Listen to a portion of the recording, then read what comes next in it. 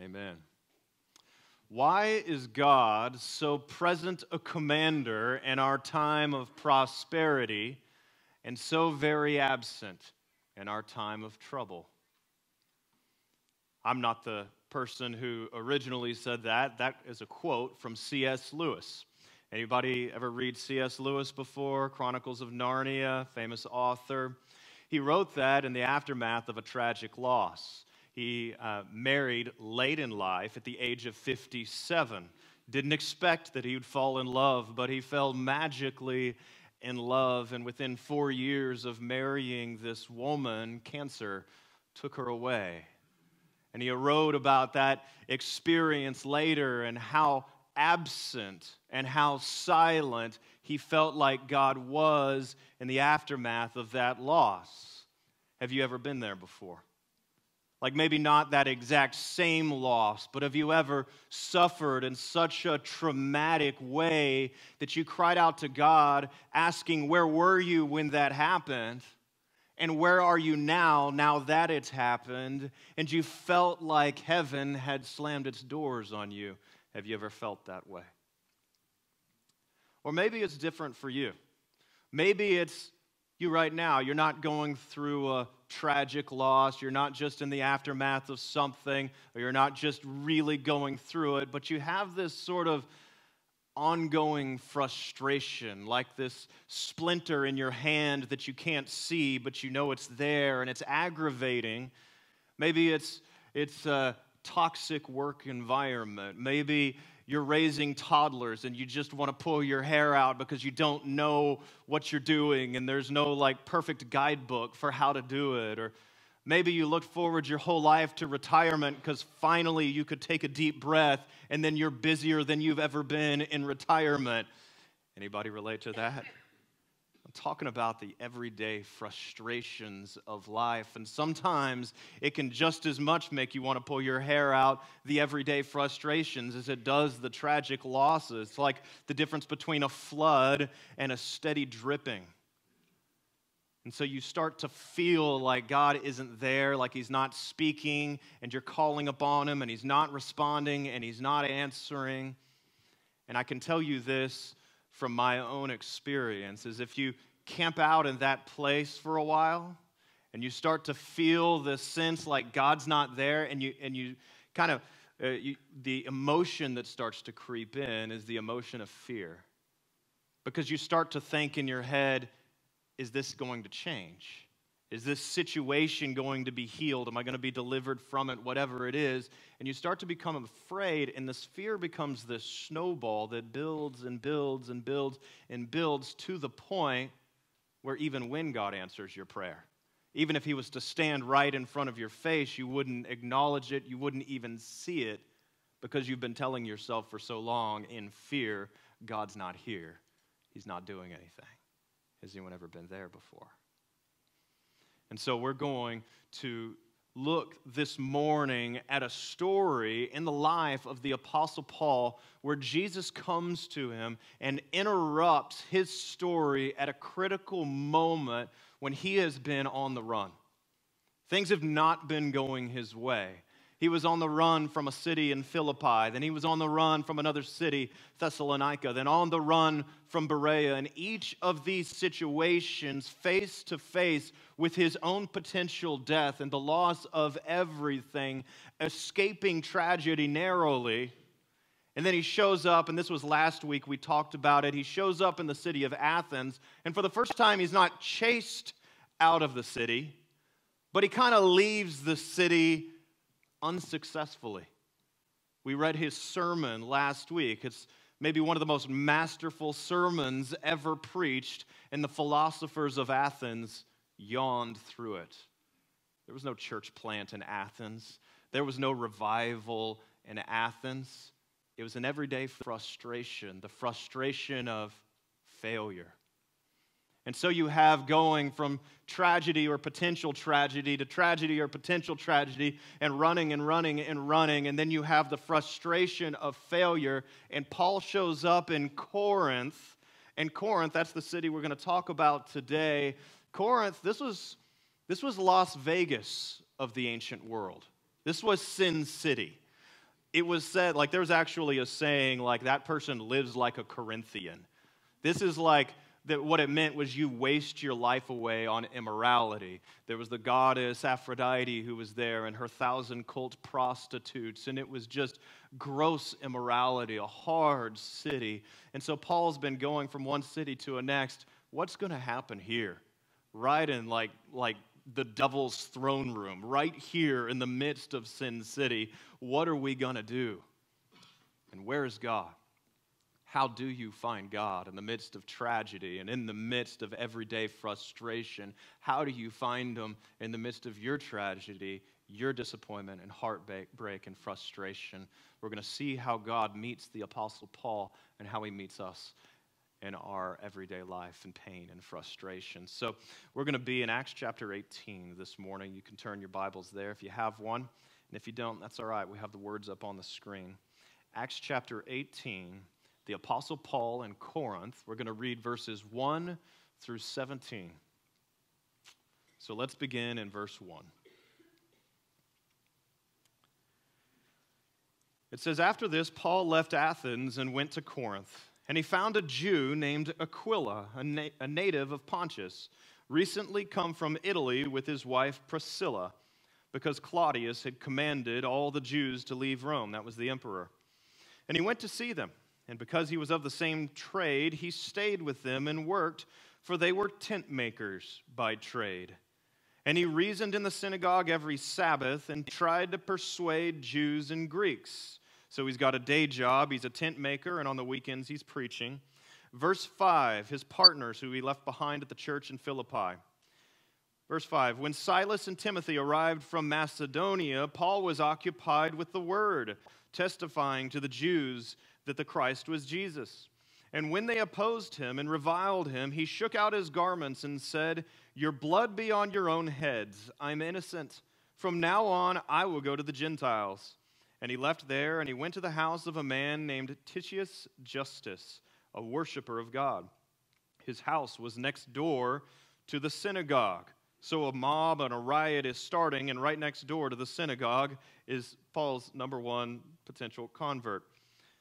It says Crispus, the ruler of the synagogue, believed in the Lord together with the, his entire household. And many of the Corinthians, hearing Paul, believed and were baptized. And the Lord said to Paul one night in a vision Do not be afraid, but go on speaking. And do not be silent, for I am with you. And no one will attack you to harm you, for I have many in this city who are my people. That is, many people who are going to come to know me through your ministry. Verse 11. And he stayed a year and six months teaching the word of God among them.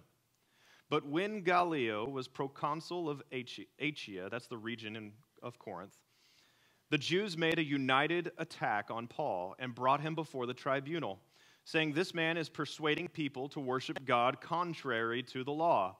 But when Paul was about to open his mouth, Gallio said to the Jews, if it were a matter of wrongdoing or vicious crime, O Jews, I would have reason to accept your complaint. But since it is a matter of questions about words and names in your own law, see to it yourselves. I refuse to be a judge of these things. And he drove them from the tribunal, and they all seized Sosthenes, the ruler of the synagogue, and beat him in front of the tribunal. But Gallio paid no attention to these things. Now, that's an interesting turn of events. The Jews just sought to have Paul persecuted, and the outcome was, what, was that the Jews were persecuted. The harm they sought was the harm they got, and Jesus' promise to Paul is fulfilled. He said, I'm go- I am with you, Paul. I'm here to protect you. And Paul, who's so used to having to defend himself, Paul, who's run from city to city, escaping with his own feet, is about to open his mouth to defend himself, but before he can even speak up for himself to be his own defender, God moves the heart of a pagan political ruler and speaks up to protect the Apostle Paul in fulfillment of the promise of Jesus. I love that. It's like the scripture says the heart of the king is in the hand of the Lord. He guides it like a watercourse wherever he pleases. and God touches the heart of that pagan ruler to protect his servant Paul in fulfillment of his promise. Now, that's a bit of a turn of events, wouldn't you say? Let me ask you a question. When Jesus appears to Paul, it says Jesus came to him in a vision. And I wish I had time to talk about the importance of learning to hear God through dreams and visions, because if we don't have that, if Paul doesn't have that, he doesn't get this incredible experience. But Jesus appears to him in a vision in the night, and he says, Fear not. Now, let me ask you, why do you think he's saying that?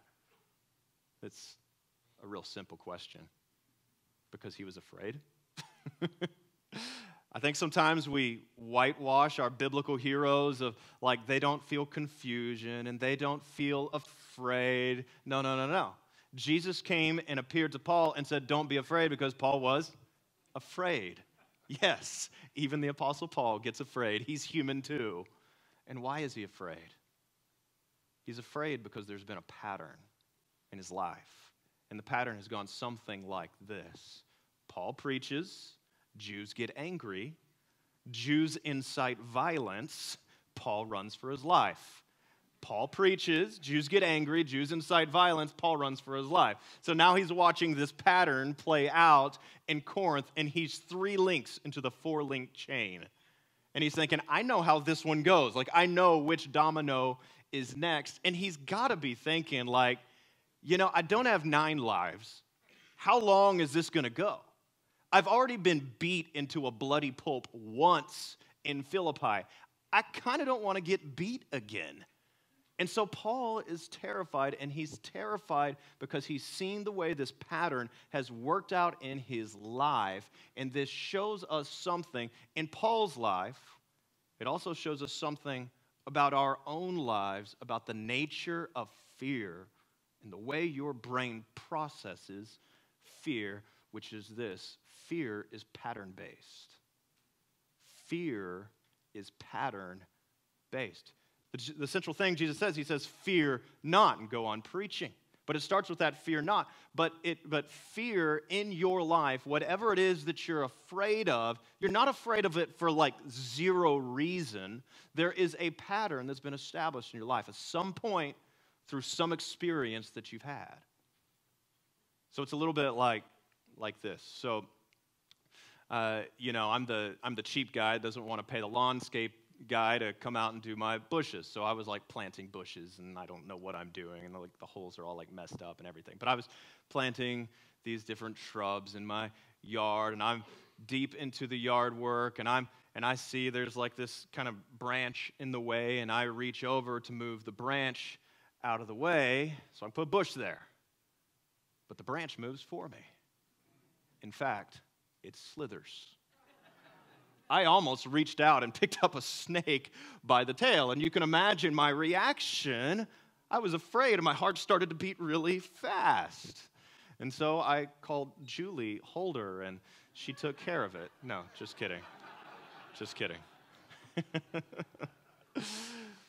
See, this was a, a, multiple, this was like a three week yard project. It was like a huge project. And so, like the next day, and the next day, and the next day, every time I'm in the yard, every time I see a stick, what do you think my brain tells me? It's a snake. So, like, I'm just like terrified in my flower bed. My neighbors are like, probably, what is wrong with that guy? Because I'm like jumping back like all the time. And, and so, what you, you see what I'm saying here, fear is pattern based. And if it's a particular particularly traumatic experience, it only takes one of those experiences to build this pattern in your mind. And I think what's happening with some of us in a passage about, about fear, and when we in our humanity deal so deeply with fear, I think what's happening to some of us is we're seeing sticks that our mind is registering as snakes because of the way something happened before in our lives. And for some of us, it goes back to childhood, and you grew up in a childhood where you never had enough money and never had enough money and never had money. And, and, as it turns out, you actually didn't starve to death, but your parents always talked about how you never had enough money, and now, like, you can't afford a jet ski, and you're like, I'm dead broke. And you start to get fear and see what you're, what is happening is you're seeing a stick that your mind is registering as a snake. Or maybe you grew up in a family where there was addiction present. Or maybe you grew up in a family where your parents were neglectful and your mind has registered that, where suddenly, you know, your spouse just has something like mildly corrective for you, and you're like, what, you're rejecting me? Or your boss, you're firing me? And so you start to go through these experiences registering sticks as snakes that aren't even snakes at all because fear is pattern based.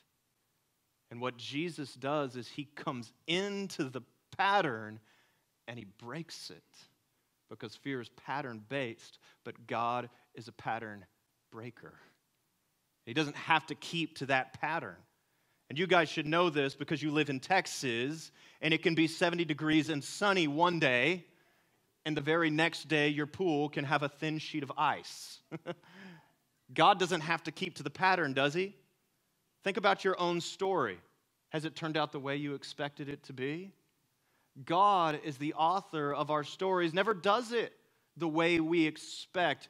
He's unpredictable in the way he does things. And when you're stuck in that rut of fear and you're saying, I was rejected before, so I'll be rejected again. I failed before, so I'm going to fail again. And your mind is going into these dark places, and that fear snowball is developing. And you're telling yourself, God isn't here, God isn't here, God isn't here. He is here, but you're just focused on the stick and he's coming in and he wants to break that pattern. He wants to break you out of that rut and routine into a living and vibrant and active experience of him so you can live in that holy zone of fear not, for I'm with you. So fear is pattern based, but God is not. He is a pattern breaker, He's unpredictable. And if you're here this morning and you're stuck in that fear pattern and you're stuck in a rut, this is encouragement to you because God wants to break you out of that. And just because your yesterday was bad doesn't mean your tomorrow has to be bad. There's a temptation sometimes as a, as a pastor to promise things that go beyond what the Bible promises and to tell you all that because God is a, is a pattern breaker, He's going to turn your wilderness into a promised land flowing with milk and honey where there's just no pain anymore. You know, the Apostle Paul talks about those kind of preachers, and he says, uh, he says, in the last days, preachers will come and they'll tickle people's ears with truths they want to hear. I wish I could promise you that the future God has for you is a pain free future but I can't promise you that. I can tell you that He'll bring you out of this rut and that He wants to interrupt that pattern and He wants to take you out of this fear. And He does turn wildernesses into promised lands. But even in the promised land, there's pain. I mean, have you read the story of Israel and kind of what it was like there? it's a land flowing with milk and honey, but there really is still pain there. And to bring it back to our passage today, as I was honestly this week kind of wrestling with it because I was just having this conversation with the Lord, and I said, and I was just like, Lord, I mean, it, it, your unpredictability, while encouraging in some ways, almost discourages in other ways. And sometimes it discourages me because I don't know what you're going to do. Like I, like I wish I could just count on you to give me the pain free life that I want. But you don't promise that. What I want to show you is He promises something better. And as we look in this story, in the, the, Apostle Paul's life, and as he interacts with some more people, we're going to see a truth emerge. I'm going to point. I want to point this truth out to you, and it's this: sometimes God achieves His purpose by protecting us from pain, but sometimes He achieves His purpose by allowing it. Sometimes God achieves His purpose by protecting us from pain, but sometimes he achieves his purpose by allowing it. So let me show that from the passage we just read. So God protects Paul in Corinth. Remember, he opens the mouth of the pagan politician to be Paul's defender. So Paul doesn't even have to defend himself. And we can see God's plan in this. We can see what he is accomplishing in this. Corinth is going to be the first city that Paul can stay long term. We just read he stayed there a year and a half. And doesn't it make sense that in Las Vegas, that in Sin City, God would put his number one apostle there to work and to build relationship and to develop the gospel's influence in this city. So, because God protects the Apostle Paul in Corinth, he's able to establish a church in the middle of Sin City. It's easy to see how God's protection served a purpose there. But now I want to show you how, on another occasion, God not protecting Paul, God allowing Paul to experience pain, serves his purpose also.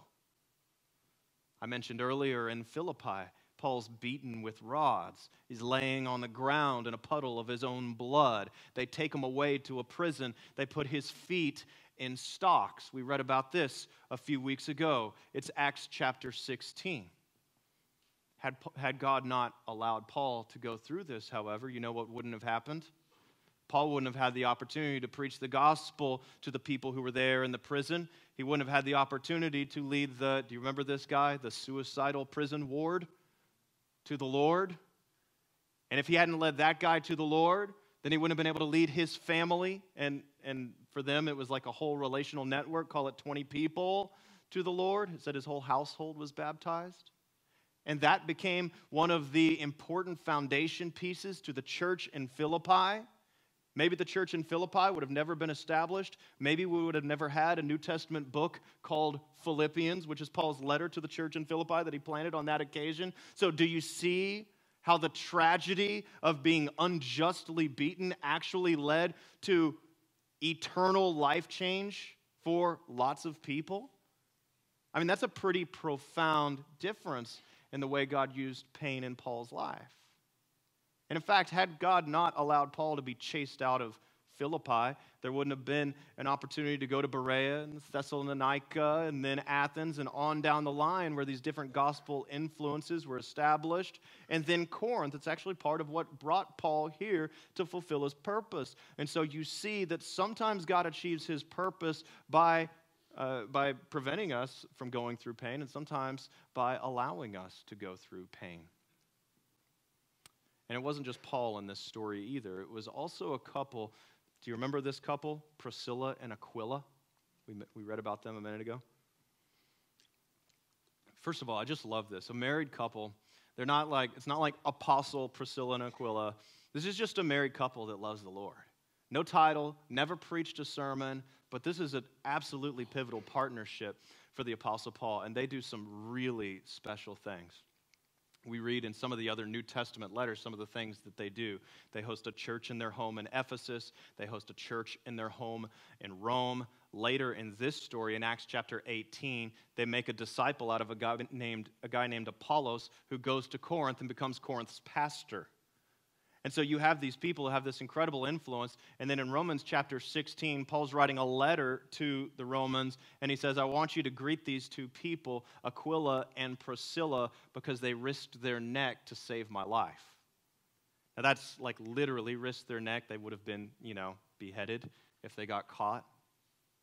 And so you see this couple that did some tremendous things, but it was very subtle. How did they get to Corinth? Was Corinth just their hometown? They just lived in Sin City, liked to gamble? Why were they there? They were there because there was an emperor named Claudius who said, Jews, you can't live in Rome anymore. Get out. Let me just pause and think about that for a moment. Pause and just imagine like, what if a president stood up and said, Black people, get out of America? Or white people or Mexicans or whatever you want to call it. Like this would be a tragedy, okay? And this is this is an ethnic deportation.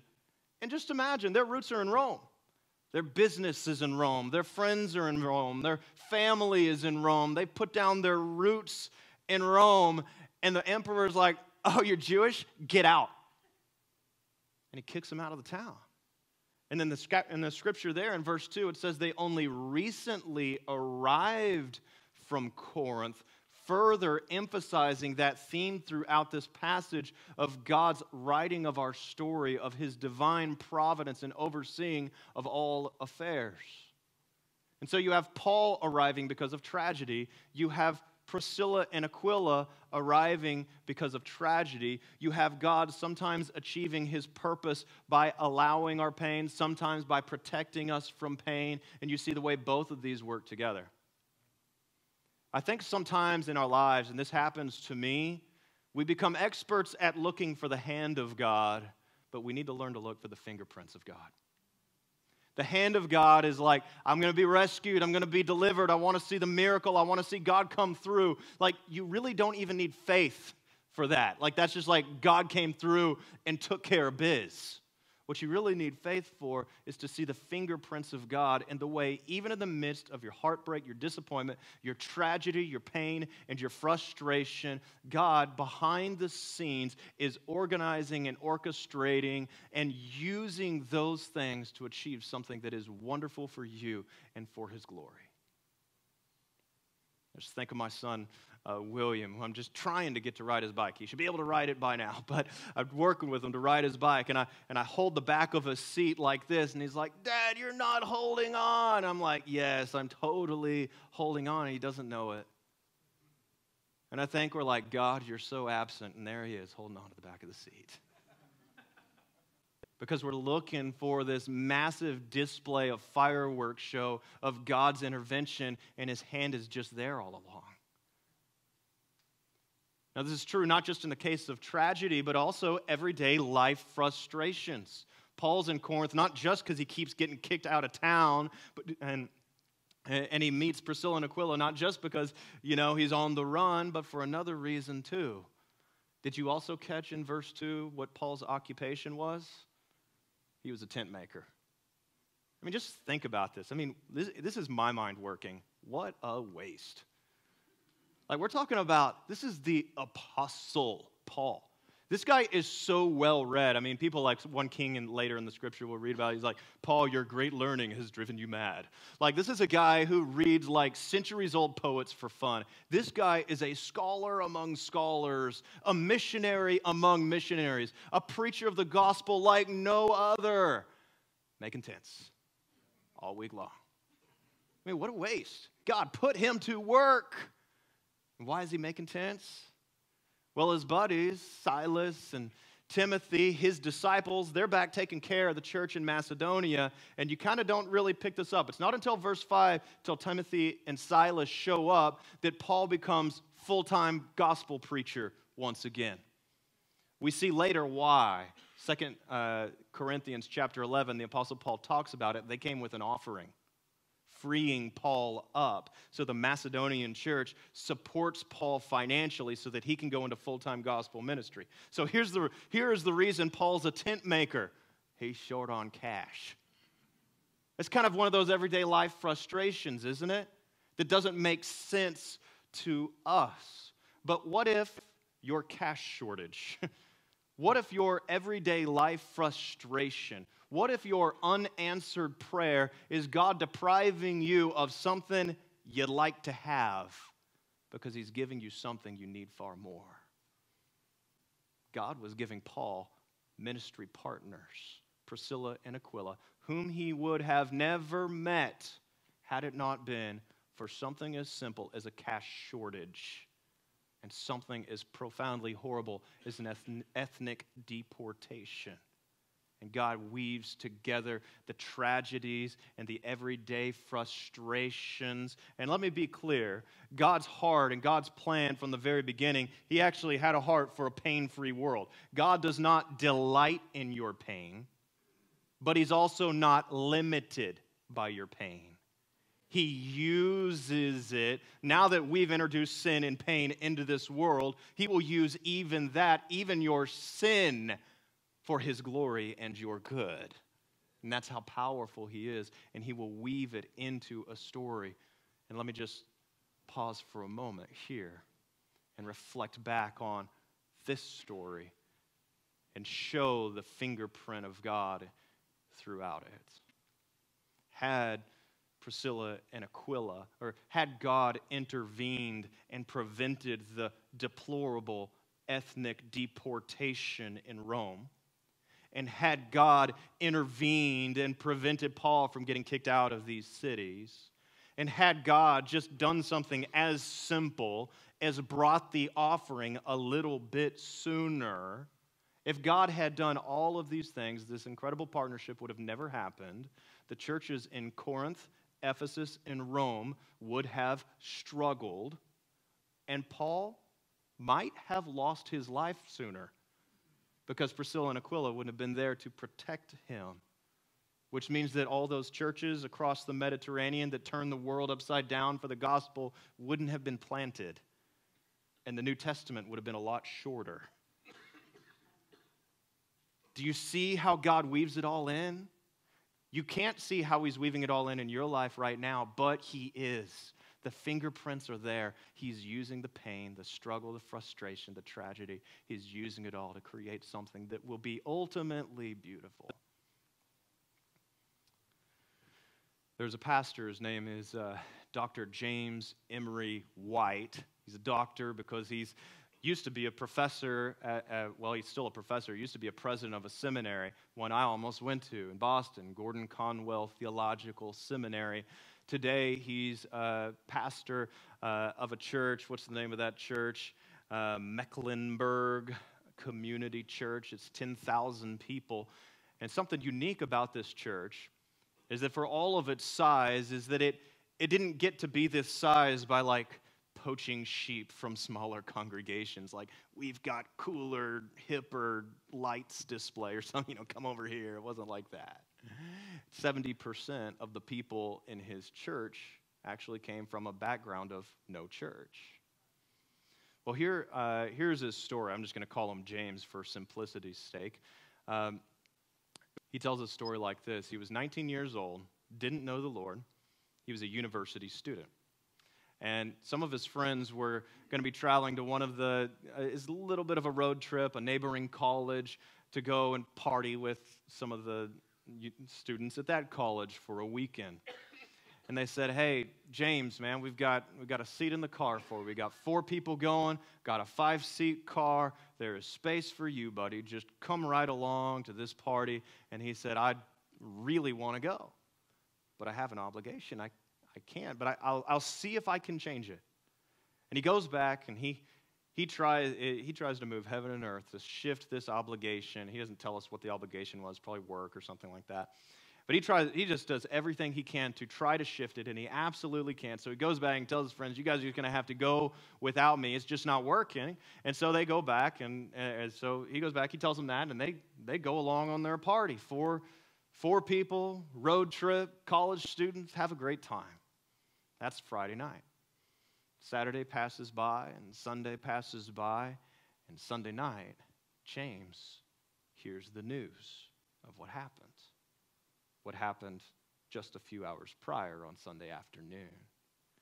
His friends had a great time at the party, and they're coming back, and probably, I'm sure, just talking about the different memories that they've just made, and everything is going wonderfully. They're driving down the highway, and car going the opposite way on the highway veers off the road into the median, becomes airborne, begins to flip through the air, and lands directly head on collision to the car of his friends. All four of them die immediately. And so he gets the news of that. Obviously, he can't sleep that night, so he goes out from his dorm to the football stadium hops a fence and goes up into the bleachers, says he sits under a moonlight sky and he's confused. He doesn't know the Lord yet, but he's confused about God, if you're out there kind of deal. Why does it seem like that some outside force made it impossible for me to occupy the fifth seat in that car? Like I did everything to be in that car. Why does it look like you protected me but allowed that to happen to them? I want to read you his reflections on that moment. He's in the football stadium. Here's what he said He says, I remember crying out to God to help me sort it all out, to make sense of it all, to talk to me, to say something, anything. Silence. In truth, it was one of the deepest conversations we had ever had. He was speaking to me, moving within me, communing and communicating with me on levels that had never been opened up to him before. It was the start of many conversations, some even more traumatic. Within four months, I became a Christian. Sometimes God's silence is actually part of the conversation. And when you think about your closest friendships, you don't have to occupy space with 24 7 words. And in some instances, that would be the wrong thing. Maybe you remember the story in the scripture of Job's friends. Job suffers tremendously, and his friends show up and they just sit with him for seven days. The problem started when they started talking. But they sat with him for seven days, and their action, their action of silence spoke louder than any word that they ever could have said. Sometimes God's silence in our situation is Him inviting us into a deeper conversation because He's looking for something more than a superficial religion. He's looking for an intimate friendship which we, which we can share with Him our deepest frustrations, our deepest pains, our pains that are even with Him. He wants it all to come out. And I can say from my own experiences when I've had those internal wrestling matches with God over his frustrating seeming absence and silence. I've found some of those as being the most intimate moments with God.